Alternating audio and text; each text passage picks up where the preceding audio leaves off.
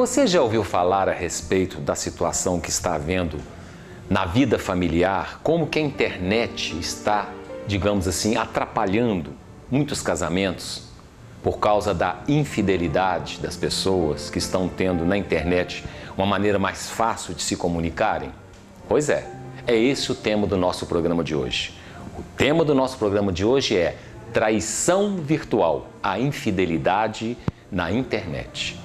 Infelizmente, é isso que está acontecendo muito por aí. A família está se desagregando, a família está se desestruturando, porque existe um mecanismo, existe um, uma força espiritual, vamos dizer assim, muito negativa, que as pessoas utilizam através da internet. É o que nós chamamos da infidelidade. Os apelos da internet estão muito assim, muito grandes. As pessoas embarcam naquelas ilusões dos falsos elogios, das mentiras que são faladas nas, nas salas de bate-papos. Enfim, a internet hoje se tornou uma, uma arma, vamos dizer assim, do inimigo de Deus. As pessoas são envolvidas num processo assim de conhece às vezes uma pessoa na internet, mandam algum recado, são elogiadas às vezes por alguém e alimentam dentro de si uma ilusão de que aquilo é verdade. No fundo, no fundo, a pessoa sabe que é mentira, mas alimenta dentro de si uma coisa assim como se fosse uma solução para a vida dela.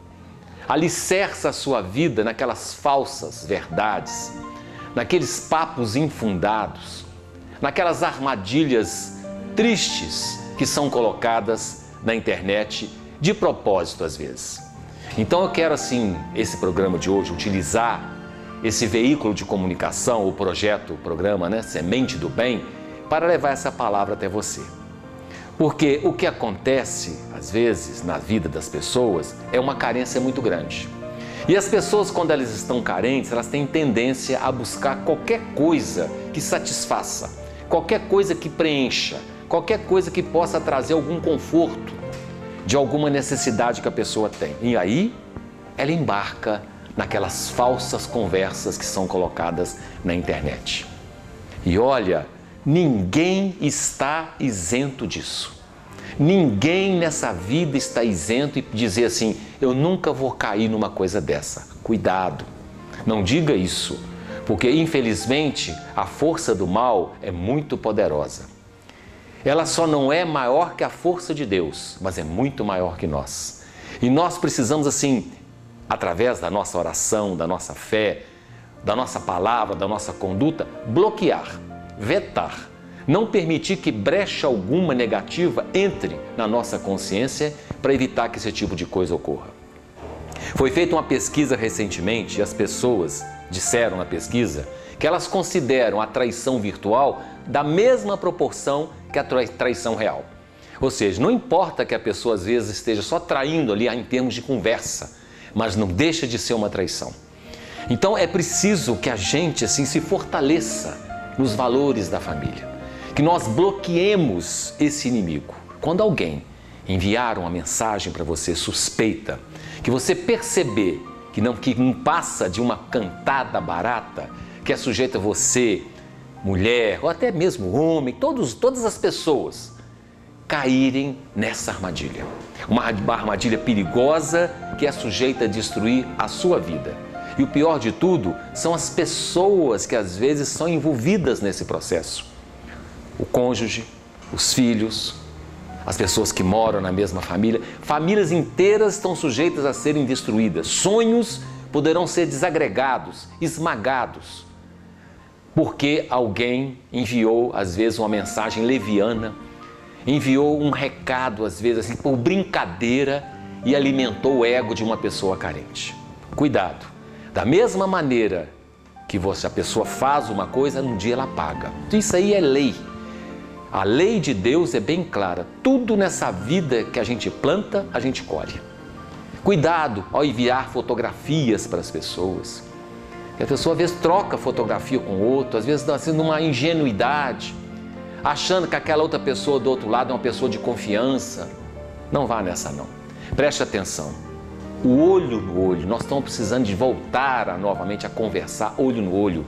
As pessoas precisam se comunicar é no tete a tete, naquele contato próximo, porque aí sim a verdade não tem como ser escondida. A mentira não prolifera quando aquele que pessoa que conversa olho no olho não tem como proliferar. Então eu dou assim esse conselho, essa orientação para você. Bloqueie aquela pessoa que está sendo inconveniente com você na internet, antes que aquele mal cresça na sua vida. Não permita que essa sementinha do mal destrua sua família, destrua o seu caráter, deprecie a sua imagem diante da opinião pública, que torne você depois uma pessoa se sentindo culpada por tudo aquilo que você fez, envolvida num processo de vaidade, que é vaidade tanto a pessoa que envia o recado, que manda um recado para você, para poder ativar a sua vaidade, para que você caia naquela armadilha. Abra os olhos, conecte-se com Deus, entre novamente em sintonia com as coisas divinas. Não permita que uma coisa dessa, esse veneno, atrapalhe a sua vida, desequilibre a estrutura sua familiar, financeira, emocional, psicológica, espiritual, seja qual for bloqueie. É fácil. É só você chegar lá e dar um clique no mouse e você estará evitando grandes problemas na sua vida. A infidelidade na internet é hoje uma das maiores armas que o inimigo de Deus está tendo para poder destruir a família mundial. Então eu peço a esse nosso aliado, o nosso Jesus Salvador, que salve a sua família, salve você dessas armadilhas perigosas. E nos salve a todos, para que possamos cada vez mais, a gente quando entrar em casa, ter a consciência tranquila de que estamos fazendo o nosso dever, que estamos fiéis àquelas pessoas que confiam em nós. Seja o que for que você ainda esteja vivendo, dá tempo de mudar, dá tempo de você ainda voltar atrás. Bloqueie agora é só uma questão, um clique. Eu confio em você e conto com você. Nós nos encontraremos em uma outra oportunidade, se Deus quiser.